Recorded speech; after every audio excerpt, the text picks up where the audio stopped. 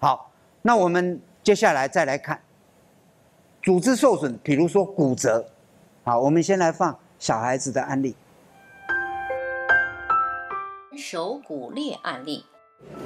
好，他是摔断，呃，他可能跌倒，跟地上，然后就重那所以他现在都有裂了，需要打。如果照你刚刚讲的，只是啊有一些裂，但没有跑掉的话，那我认为事实上根本不用买啊，这个太重，太重。啊，你会不会痛？哪里痛？你先哪里？这里在痛是吧？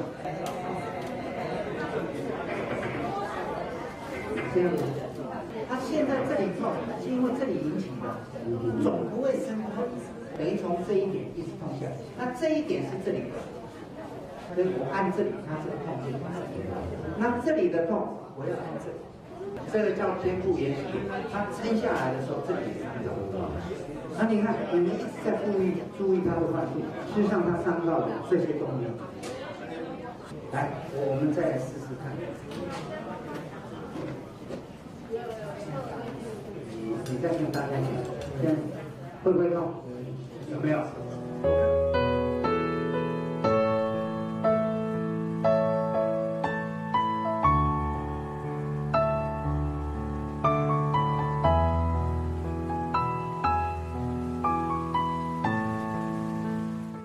这个孩子假设没有去照，我们看到手肘肿痛，原始点有没有办法处理？有啊，我们前面已经讲过，他的痛一定是由怎么样他处引起的。那我们肩部原始点揉一揉，那肿呢，一定是撞的组织受损，我们直接温敷就好。如果一开始他没有去照，哎，这样说来，原始点处理方式也这样，那照出来我我有没有改变？确定骨折了有没有改变？还是没改变啊？该按推的按推，该温敷的还是温敷嘛。所以照与不照，对原始点一点帮助也没有。处理的方法全部一样。好，那这个也是组织受损。好，那我们再来看下一个，你们因为它修复时间实在太快了，二十一天，你们可能会怀疑是不是孩子。因为在医学上可能没有那么快，起码都要一两个月。我跟各位讲真的，没有在二十一天就能完全修复好，痛也没有了，痛消失了，那肿呢也不见了。好，我们再来放一个老人家手骨折案例，缘起，二零一五年七月二十号上午约十点左右。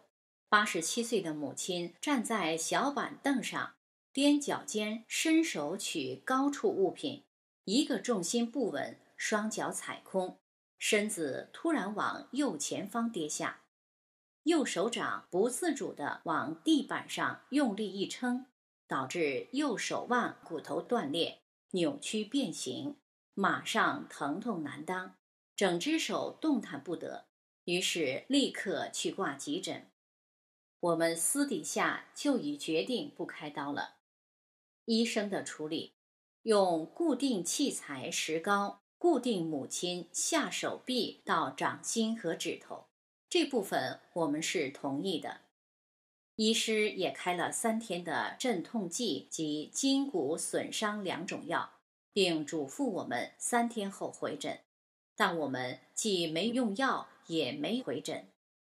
当天下午从医院回到家以后，马上以姜粉泡温开水让母亲喝下，接着以红豆袋及暖暖包从肩胛冈以下到手臂、手指头尽量给予覆盖，即使有一部分隔着石膏，也都密集的进行长时间温敷。接着按推肩部原始点。以及肘部原始点，同时也按推头部、颈部、上背部和肩胛旁内侧，大量温敷加上适度的按推，让母亲心胸舒畅，疼痛明显舒缓。当天晚上得以有好的睡眠，有利于恢复好的体力和精神。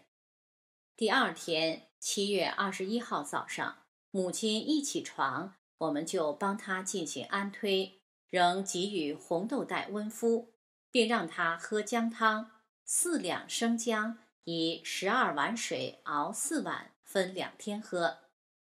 这天，他的手虽然还是肿得发亮，尤其手腕和手背处，但母亲说疼痛已减轻很多。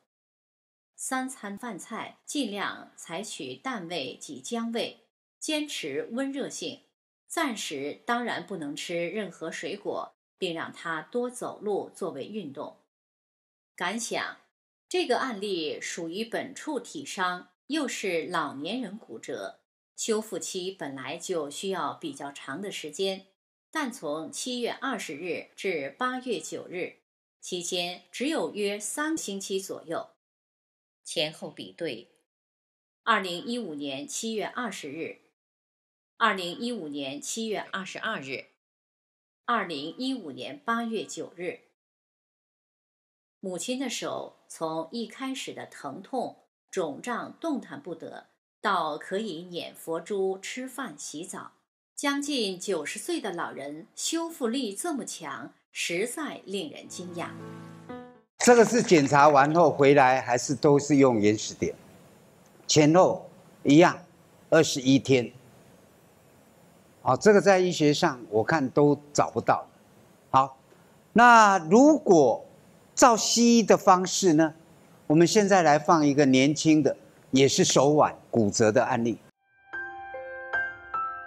手部骨折案例。那骨头断多久了？大概两个月。断，他还在痛吗？你把它拆开好不好？两个月不要包了。你现在痛哪里？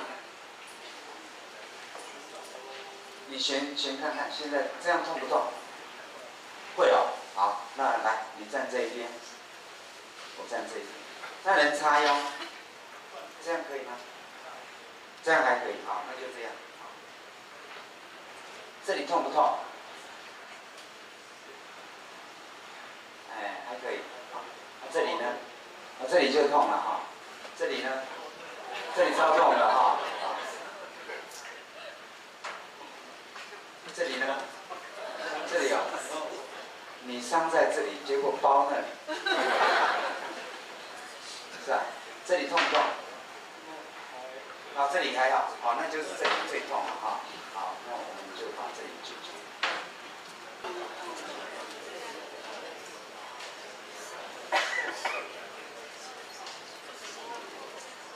好，这样已经揉好了，快不快？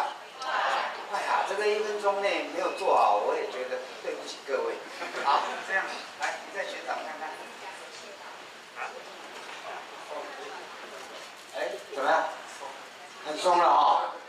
对呀，你病不在这里，那干嘛干嘛包这里包的那么好看？不要再戴了啊，知道啊？这个患者是他妈妈硬逼着来基金会给我揉，因为西医叫他开刀。这个孩子也准备再开刀一次，因为西医说两个月骨折还会这样，就是因为骨折长的位置还是有问题，所以还会产生痛。所以西医他们对痛手腕的痛，就是如果你有骨折照出来，他们不满意，还准备再开一次嘞。但问题这个痛很显然就是他处引起的，又回回回到我们源头讲，所以总是消了两个月。时间也够多了，身体也本来你不管治对治错，两个月应该六十天也可以修复但痛呢？有时候你他处体箱没有按，你不要说两个月，有时候半年一年，有时候都好不了。那你还是要把这个开关解开。但西医没有这个概念，准备还要开刀一次啊，所以他妈妈才急着把把他拉过来，就处理一下他就改善，所以这一刀就怎么样？免了，真的是刀下留人了。好，那这样一路看下来，这些组织受损有没有对原始点造出来有没有影响？没有啊，该按推的按推，该温敷的温敷啊。所以知不知道对我们一点帮助也怎么样？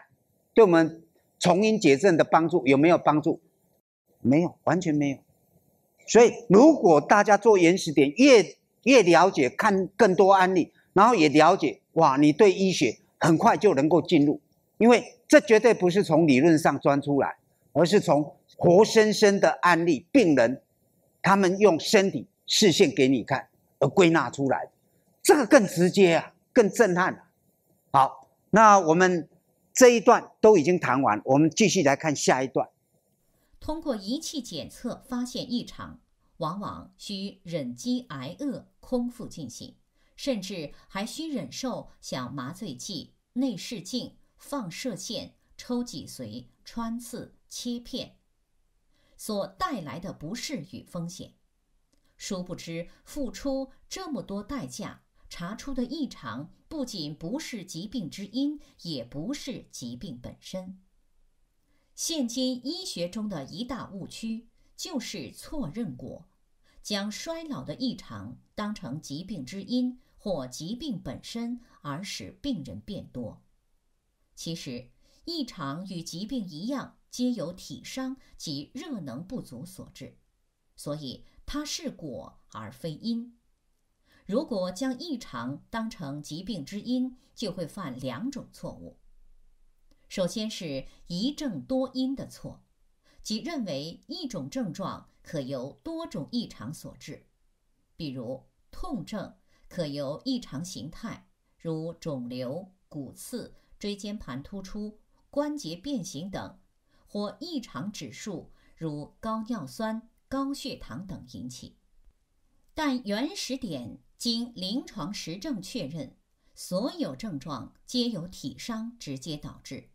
即体伤这一种因，可导致多种症状之果。例如，头部体伤可导致头痛、眼干、鼻塞、耳鸣、牙痛、面麻等所有头面部病症，也就是一因多症，而非一症多因。再说一症多因，亦即一果多因，也于理不通。正如一个母亲因可生出很多孩子果，而一个孩子果不可能有很多生身母亲因，所以认为一种症状可由多种异常所致的一症多因，本质上是导果为因，是不能成立的。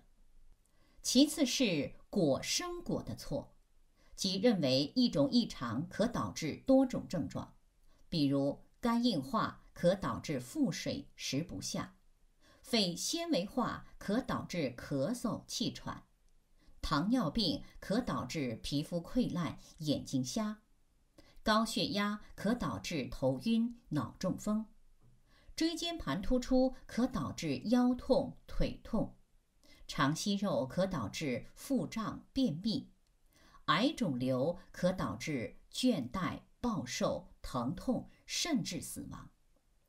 但异常就像发白不会导致头痛头晕，面皱不会导致肤痒溃烂一样，果是不可能生果的。再说，要是果可以生果，则如同不需父母，孩子本身就可生出弟妹来。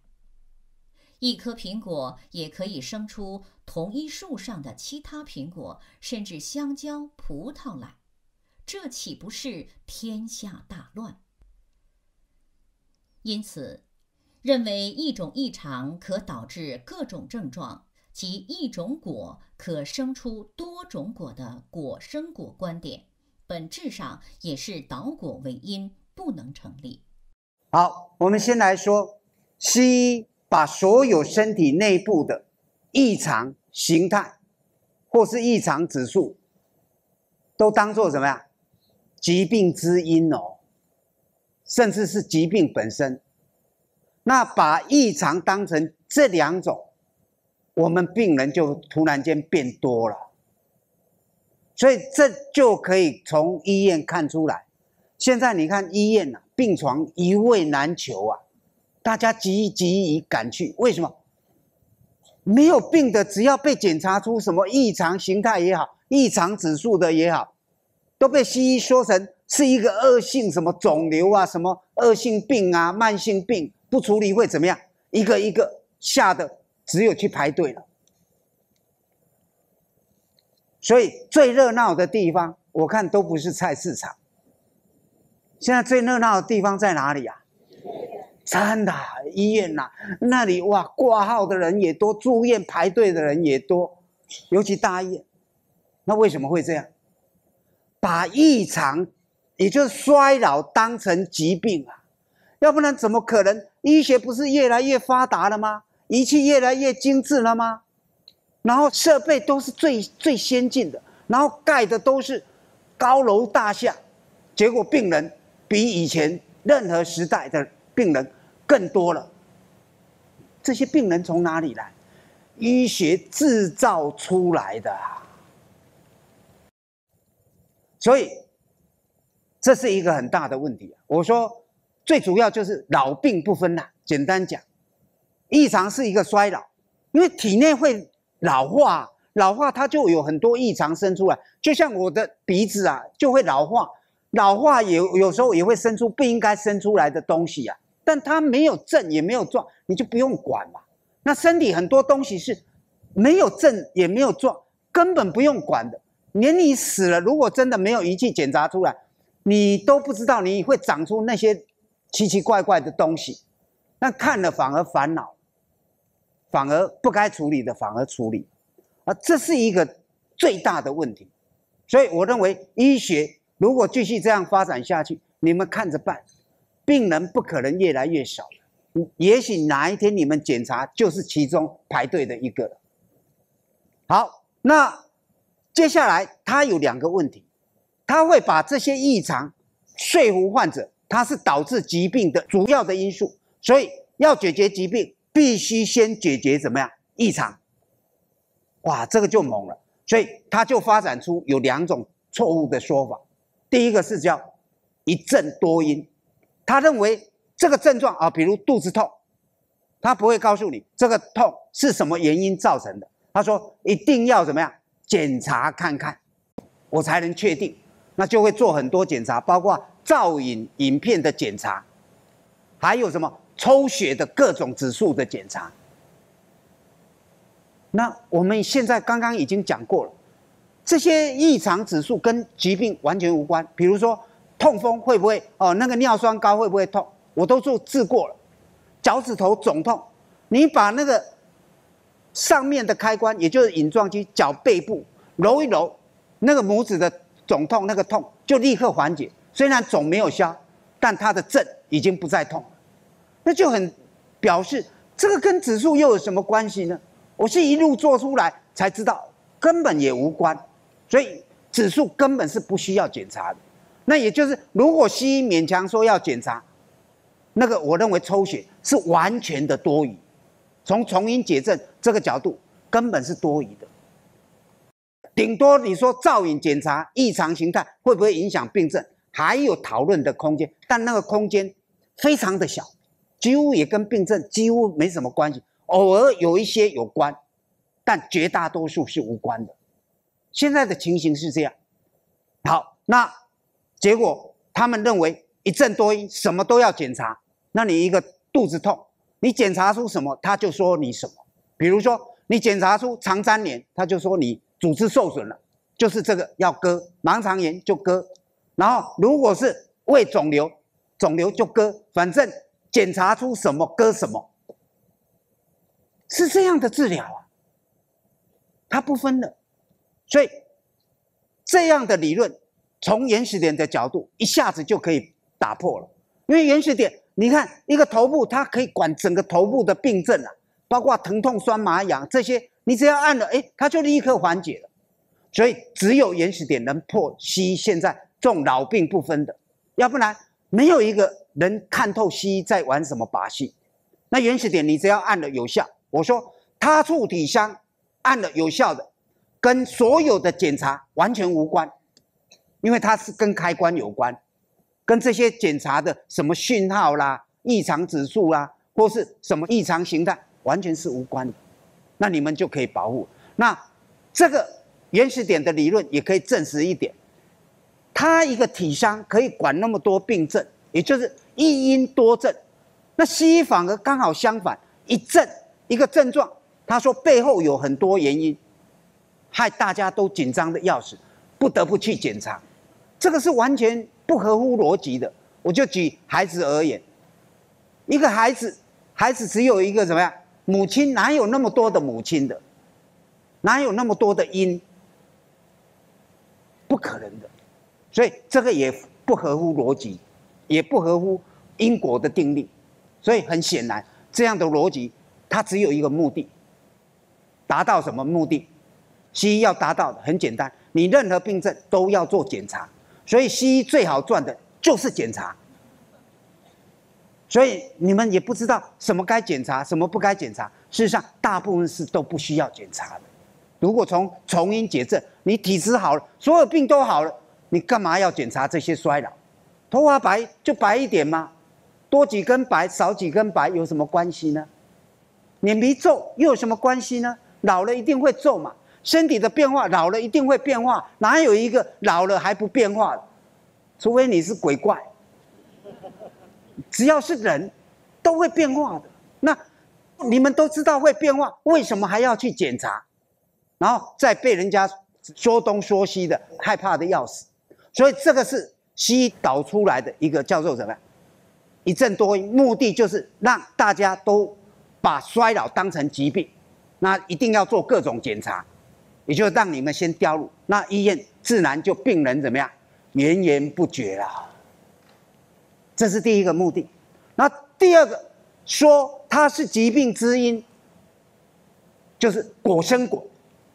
也就当你一旦检查出来，他为了让你能够接受他们的治疗，这是第二个目的。